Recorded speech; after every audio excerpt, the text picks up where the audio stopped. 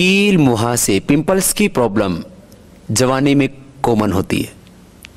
और 15 से 25 साल के बीच तो लगभग सभी को पिंपल्स निकलते हैं। किसी किसी को ज़्यादा स्ट्रेस से या जेनेटिकली भी ये प्रॉब्लम होती है, ऐसा हमने हज़ारों, लाखों लोगों के जीवन में देखा है। तो जिनको ये पिंपल्स की प्रॉब्लम किसी भी कारण से है, चाहे वो जेनेटिक है, चाहे वो जवानी के कारण से है। तो किसी भी तरह के पिंपल्स होने पर एक तो पानी का प्रयोग ज़्यादा करें, हरी सब्जियों का प्रयोग ज़्यादा करें और उसमें भी खास करके लौकी का जूस यदि पी सकें, आंवले के रस के साथ तो और अच्छी बात है।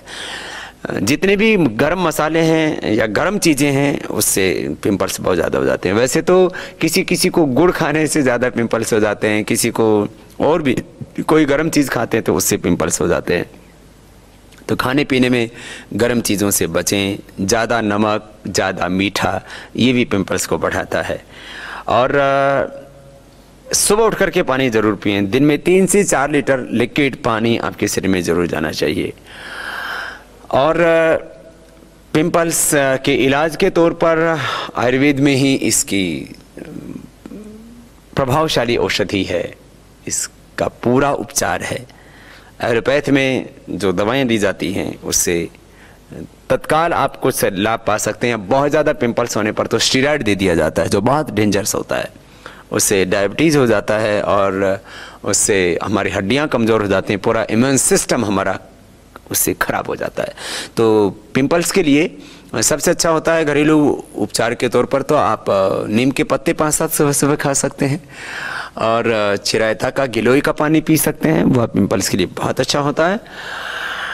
काया कल्पवटी हम बनाते हैं उससे हमने देखा है दो दो गोली सुबह शाम खा लेते हैं खाली पेट तो उससे पिंपल्स ठीक हो जाते हैं।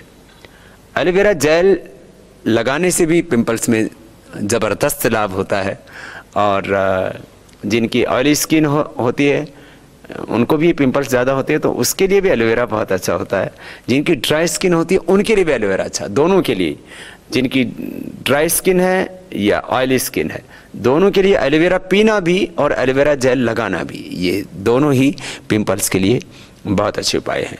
कायाकल्प क्वाथ पिया भी जा सकता है जिनको ज़्यादा पिंपल्स की प्रॉब्लम रहती है, वो एक चम्मच एक गिलास पानी में पकाएँ और पचास ग्राम रह जाए तो छान के पी लें महामंजिष्ठाराध्यारिष्ट और खदिरारिष्ट।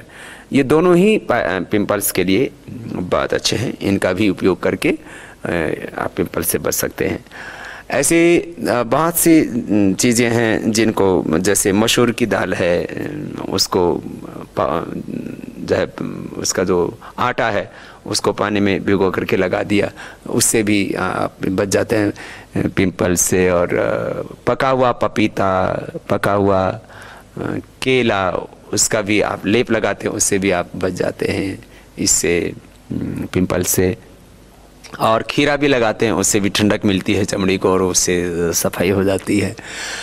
पिंपल्स से लेकर के सभी प्रकार के चर्म रोगों में प्राणायाम अद्भुत लाभ करता है। जिनको वर्षों से पिंपल्स होते थे जिनको 10-10, 15-15 साल से सोराइसिस की प्रॉब्लम थी, एक्जिमा की प्रॉब्लम थी, यहाँ तक कि लिकोडर्मा और स्क्रोडर्मा की प्रॉब्लम थी, उनको भी हमने प्राणायाम से अच्छा किया। इसलिए जिनको भी पिंपल्स या और भी कोई भी चर्म रोग है, स्किन डिसऑर्डर्स हैं, वे सभी भस्त्रिका कपाल भाती बाह्य प्राणायाम और अनुलोम विलोम प्राणायाम तो ज़रूर किया करें।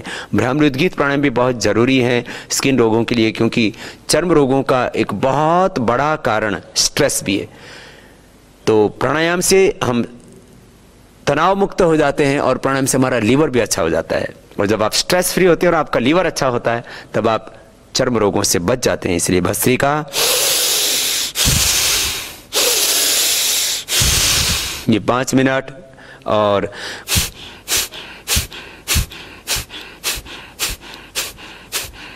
कपाल भाती दस पंद्रह मिनट। हो सके तो बाही प्राणायाम भी कर लेना तीन से पाँच बार।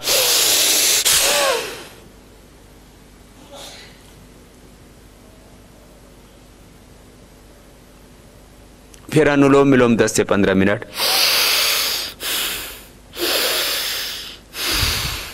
फिर भ्रामरी और उद्गीत तीन तीन बार, पाँच पाँच बार ज़रूर करें तो आपको न तो पिंपल्स होंगे और न ही कोई और दूसरी स्किन डिसऑर्डर्स